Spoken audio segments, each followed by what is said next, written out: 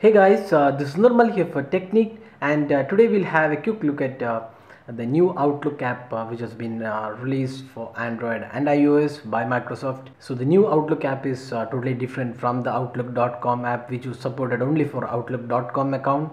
So this new email app supports almost all email services including Gmail, Outlook, then you have support for Yahoo, iCloud, Exchange Server and a lot more. So this is an universal uh, email client available for Android and iOS.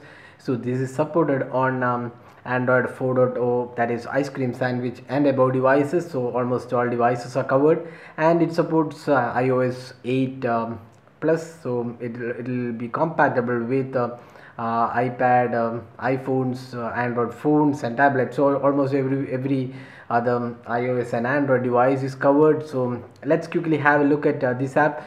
So this is basically an uh, um, repackaged email client which is already available, and this company was bought by Microsoft. Uh, a couple of months back so uh, this is not a new package entirely but probably microsoft will be adding new features to this app uh, going forward so let's quickly have a look at uh, the app so we have installed the app so you can see here um, this is the outlook app uh, mobile email uh, just got promotion. So you can see some of the features of this uh, new app uh, in the introduction. So this is focused inbox. We have uh, two folders and you have the full calendar support easy attachments uh, that's one main feature. You can attach um, you can add attachments from dropbox or skydrive.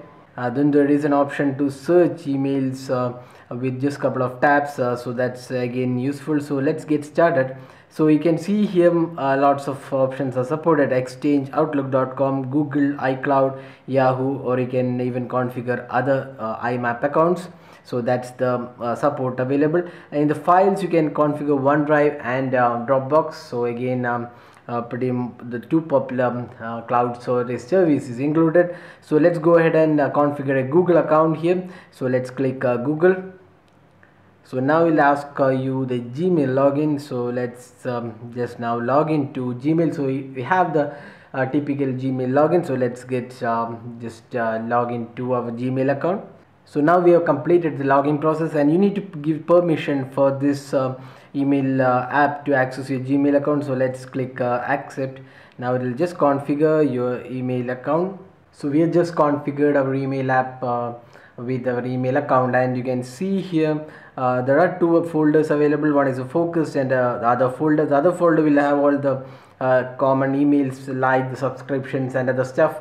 Uh, the focused one will have uh, your primary emails which needs your attention and the important ones just like what we have on the gmail app if you go to the other you have the all the other folders. So let's just open a mail and see how it comes. So we have just opened an email and you can see the options here. So you can reply it from here.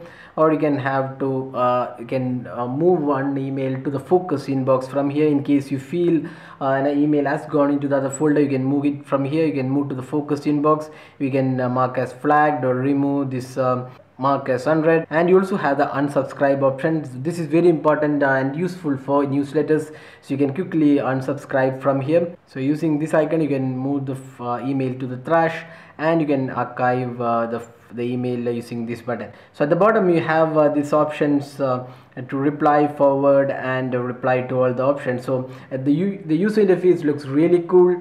Uh, it's it's bluish uh, shade uh, similar to the outlook.com account. So interface really looks cool. Now here we have the, all the inbox stuff. So you can see here inbox draft all the folders. We have the calendar option. So if you click calendar it'll open up the calendar and you can see the task.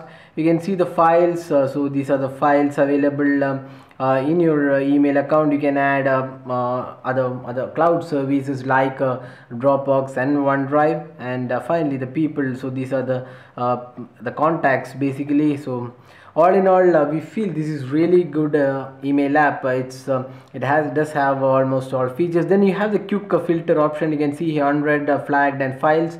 So you can sort or rather quickly access these files now we have some gestures here. So you can see here if I swipe from um, uh, left to right that means left to right you can see you can, you can schedule an email.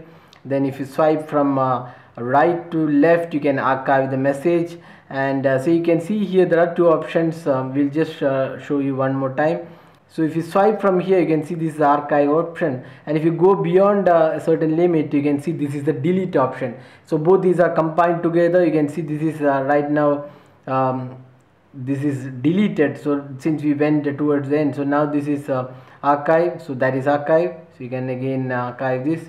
We'll just delete one for deletion you have to go towards the end and then uh, release the email that will be deleted. And if you swipe from here uh, you can schedule the uh, message. So you can see here schedule this message in few hours. This evening tomorrow choose a time and cancel. So that scheduled email message will uh, come uh, uh, at the specified time. So that's uh, scheduling the message. So this is pretty simple. If you just swipe from right side to left side it will go archive. And if you go to the edge you can see it's delete option. So these are the two options. You can undo the delete quickly once you have done that uh, this will be obviously available in the trash as well. So that's the options available in the, the outlook uh, for android and ios. So all in all this is a really feature rich uh, uh, email app and it does have a pretty good interface as well. So it's well arranged and looks really cool as well. You can configure multiple accounts uh, here you can go to settings and you can see here right now we have uh, um, added one account. You can see add account option here. So you can add multiple accounts again. You can add um, outlook uh, the hotmail account uh, you, that's live id then you can add uh, icloud yahoo exchange server almost all options included. So this pretty feature rich app and uh, looks pretty good as well. You can also customize the signatures. You can see here there is a signature. You can customize signature per account or for all accounts. uh, that's uh, that's option. Then um, default email app uh, that's what available here. Then you can enable or disable focused inbox as well. So focused inbox as we said before will arrange uh, the emails for you based on how important it is.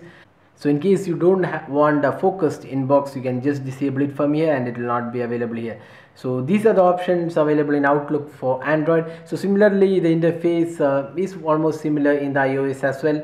So we're not covering the ios right now. So this is almost similar. The features are almost similar in android and ios so that's the new outlook for android and it looks pretty good. And this is one of the best email apps we have tried right now and uh, it's pretty fast as well. It's really fluid and uh, the interface looks really good. So you can download it free of cost from the android play store as well as the ios store for ipad as well as iphones. So that's all guys. Hope you like this video. If you have any questions on this video just drop a comment and we'll be glad to help you out with your queries if you like this video, don't forget to hit the like button and also subscribe to our YouTube channel for more videos and thanks for watching this video.